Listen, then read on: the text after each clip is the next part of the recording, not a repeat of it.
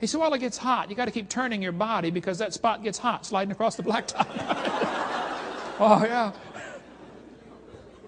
That was only like 14,000 RPM. This bacteria's motor turns 100,000 RPM forwards or backwards. Amazing. That little bacteria can swim through his little world the equivalent of a person swimming 60 miles an hour through peanut butter. Because the smaller you get, the greater the viscosity problem comes, becomes. Now, this textbook says humans probably evolved from bacteria that lived more than 4 billion years ago. Folks, they can swim 60 miles an hour. The fastest human swimmer can go about 4 or 5 miles an hour through water. You need to sign these guys up for the Olympics, man. We're getting worse, not better. Bacteria are incredibly complex. Complexity demands a designer, whether you like it or not. They tell the kids, Yes, life evolved from non-living material. Look at this one. The Bible says God created the living creature. Textbook says the history of life began on earth 3.5 billion years ago. How this occurred has been and will continue to be a topic for inquiry. Let me give you the Hovind translation. It's okay to inquire how life evolved. It is not okay to inquire if life evolved. That's what they're trying to say to the kids, isn't it? Hey, kids, it's okay to do research on how we evolved, but don't you dare question the fact that we did evolve. Not only can kids not uh, pray in school, they can't even think in school anymore. Miller and Urey wanted to know how the Earth and solar system had come to be. So they made an experiment 50 years ago. It said he never proved how life originated. But he did add evidence to the theory that life could have started by itself. This is a lie Miller and Urey's experiment, and everybody since then has made the problem much worse. See, Darwin thought a cell in your body was a little simple sack of jelly. Now we know cells are incredibly complex, and life could not have started by chance. Um, the origin of species was not addressed in 1859 and is still a mystery in 1998. Both the origin of life and the origin of major groups of animals remains unknown. They don't know how life got started. But the textbooks will tell the kids Life got started from non-living material. This one says, many important events occurred during the Archean era, the most important of which was the evolution of life. Progress from complex molecules to the simplest living organism was a very long process. Oh yeah, let's put time in there, that'll help.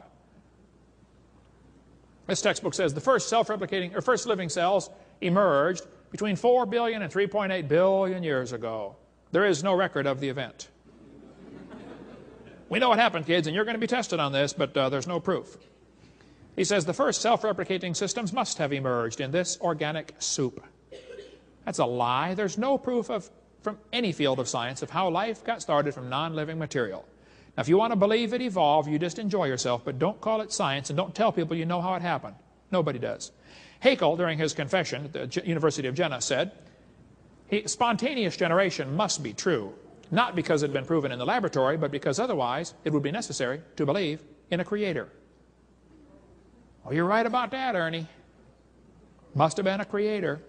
So a question, have scientists really produced life in the laboratory? Here's the experiment they did.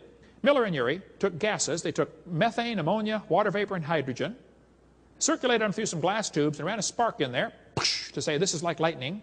At the bottom, some red goo developed, and so they filtered it off and saved all the red goo at the bottom of the flask. They said the goo was rich in amino acids. This is a lie, okay? It was not rich in amino acids. It's interesting to notice they excluded oxygen from the experiment. They didn't want any oxygen in there because they knew if they had oxygen, anything they created would oxidize. You know, you cut the banana open, lay it on the table, it turns brown, it oxidizes. If you don't paint your car, it oxidizes. It's called rust. They didn't want any oxygen there because it would destroy any life that evolved. The problem is, if you don't have oxygen, you can't have ozone. And ozone blocks UV light, and UV light destroys ammonia. And ammonia is one of the gases. So if you don't have oxygen, life can't evolve. And if you do have oxygen, life can't evolve. Got a real serious problem here. And by the way, the Earth has always had oxygen. Even if you believe the dumb geologic column, the lowest layers have oxygen.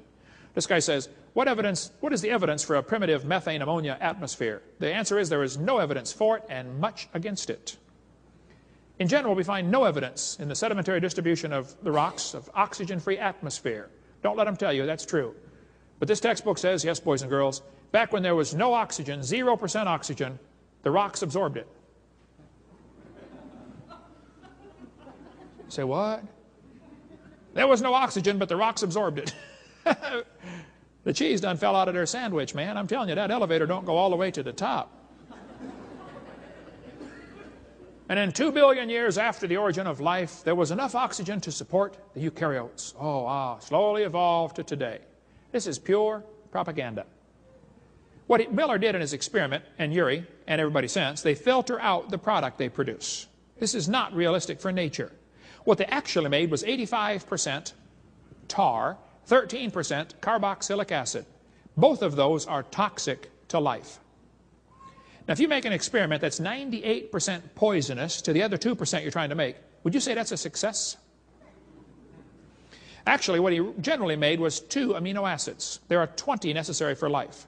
He made basically two in a poisonous mixture. He filtered out the product. That's not realistic. The, he made these amino acids, but they will bond with the water and the tar and the acid much quicker than they will bond with each other. Amino acids are sort of like letters of the alphabet. You know, there are 26 letters in the English alphabet. With combining those 26, you can make all kinds of words if you get them in the right order. You can also just drop letters and make a whole bunch of nonsense stuff too, you know. He made a few amino acids. It's like making a few letters of the alphabet. There are 20 amino acids required to make proteins. He just made a few of them. These amino acids are like letters. It takes a bunch of them to make paragraphs. It takes a whole bunch of them to make a book. And to make one living cell takes trillions of these amino acids in precise order.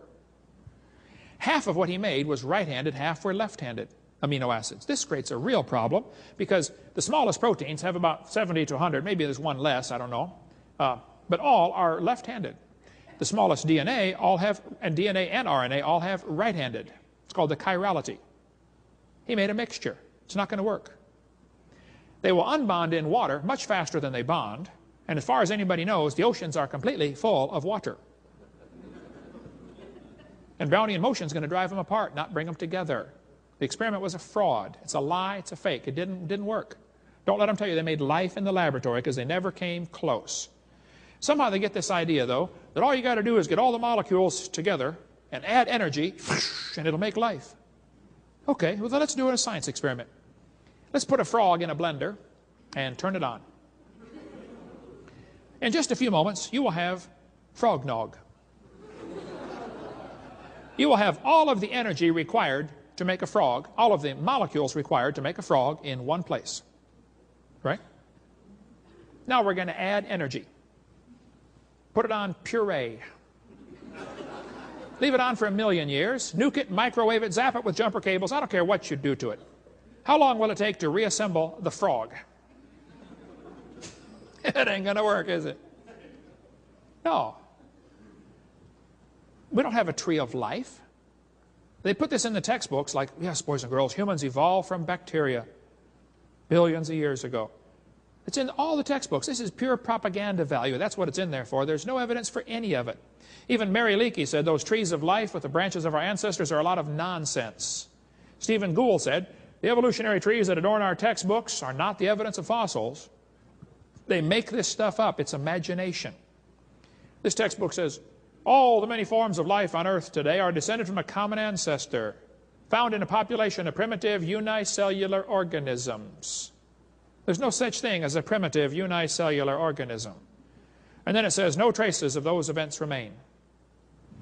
Yes, boys and girls, we know what happened, but there's no proof. Mm -hmm. This textbook says the humans, the birds, and the crocodiles have a common ancestor. Isn't that the impression they're trying to get across? Look, folks, everything inside that circle is pure religious speculation, not science. They might want to believe that, but that's not science.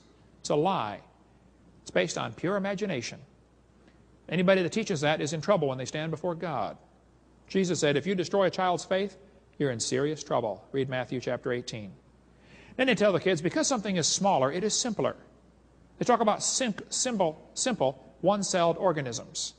Look, a paramecium is single-celled, but it's not simple. One paramecium is more complex than the space shuttle. And you can put thousands of those into a drop of water. Smaller is not simpler. Here's a paperclip around a microchip. This ant is holding a microchip in his mouth. That microchip can process every letter of the Bible 200 times per second. Smaller is more complex. I'll show you. Let's compare the brain of a honeybee to the NASA Cray computer, the YMP C9.